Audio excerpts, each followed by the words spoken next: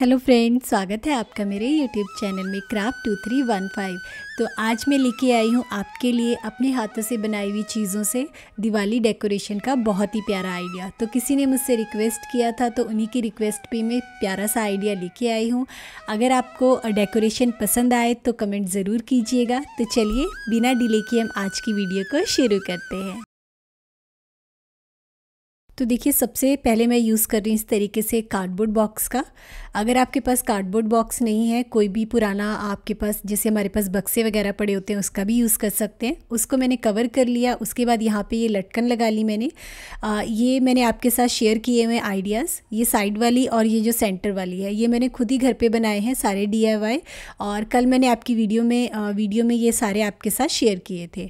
तो इन्हें मैं देखिए इस तरीके से डबल साइडेड टेप की हेल्प से मैंने इन्हें दीवार पर लगा दिया है और एक मैंने बीच में हुक लगा दिया है।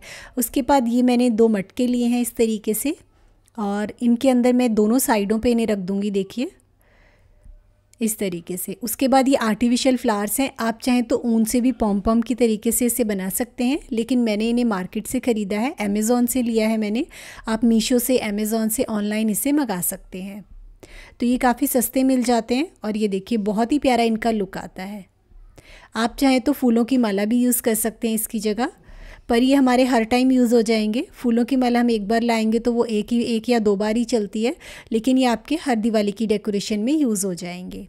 उसके बाद देखिए, इस तरीके से हम थोड़ी लाइट्स लगा लेंगे। तो जब रात में इसमें लाइट्स जलेंगी तो ये बहुत ही प्यारा लगता है।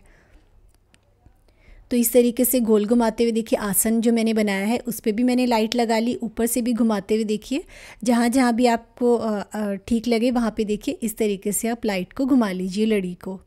तो ये जब रात को जलेगी तो बहुत प्यारी लगेगी। तो देखिए हमारी इतना हो गया। उसके बाद मैंने बीच में रख दिया थालपोश। ये थालपोश मैंने खुद ही बनाया है और इसकी वीडियो भी मैंने आपके साथ शेयर की हुई है। तो इसे मैं एज आ आसन की तरह यहाँ पे देखिए यूज़ करने वाली हूँ। और उसके बाद यहाँ पे सामने की तरफ़ मैं बनाने वाली हूँ आम के पत्तों की रंगोली। ये रंगोली मैंने कल आपके साथ शेयर की थी और ये आइडिया आपको बहुत पसंद आया था। तो यहाँ पे भी मैं देखिए इस तरीके से रंगोली बना रही हूँ। आप चाहें तो सिंपल आम के पत्तों की डेकोरेशन करके यहाँ पे इसे रख सकते हैं। इसके बाद यहाँ पे मैं इसमें कुछ दिए जला लूँगी। तो ये देखिए मैंने सारा रख दिया और ये पॉम पॉम्स भी मैंने घर पे बनाए हैं। तो ये देखिए, उसके बाद दिए जलाने के बाद बीच में मैंने इस तरीके से एक लाइट वाला स्टैंड रख दिया। तो बहुत ही प्यारा इसका लुक आता है, देखिए। अब इसके बाद मेरे पास ये थोड़ी टी लाइट्स हैं, इन्हें मैं यहाँ पे जला दूँगी। ये देखिए, इस तरीके से। आप चाहें तो लड़ी को ही बीच में लगाना चाहें तो लगा सकते हैं। और ये मैंने रख दिया भगवान जी को, और ये हमारा देखिए डेकोरेशन कंप्लीट हो गई है। तो कितना प्यारा डिज़ाइन लग रहा है, देखिए। और रात को तो लाइट में ये बहुत ही अच्छा लगता है ये हमारी लटकन आ गई और साइड वाले। सभी की सभी चीज़ें इसमें मोस्टली मैंने घर पे ही बनाई हुई हैं और आपके साथ शेयर की हुई हैं। तो इन सारी चीज़ों से देखिए आप इस तरीके से दिवाली में अपने मंदिर को डेकोरेट कर सकते हैं। इस तरीके से सिंपल सी रंगोली बना सकते हैं। वैसे भी आम के पत्ते दिवाली में पूजा में यूज़ होते हैं तो इस तरीके से आप यूज़ कर सकते हैं, देखिए। और ये बहुत ही प्यारा डिज़ाइन लगता है।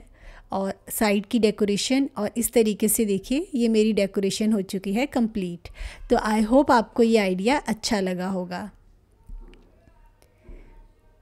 तो पूरा लाइट के साथ ये बहुत ही सुंदर लगता है. तो अगर आपके घर में कोई बड़ा सा मंदिर नहीं है अलग से आप लक्ष्मी पूजन के लिए इस तरीके से आ, इसे डेकोरेट कर सकते हैं. कुछ नहीं चाहिए कार्डबोर्ड के बॉक्स चाहिए उसका मैंने आसन बनाया है और बाकी चीज़ें देखिए बहुत ही ईजी है बनानी. सारी की सारी मैंने आपके साथ शेयर की हुई हैं. कमेंट करके ज़रूर बताइएगा कि आपको ये डेकोरेशन कैसी लगी। जल्दी मिलते हैं नई वीडियो के साथ। Thank you.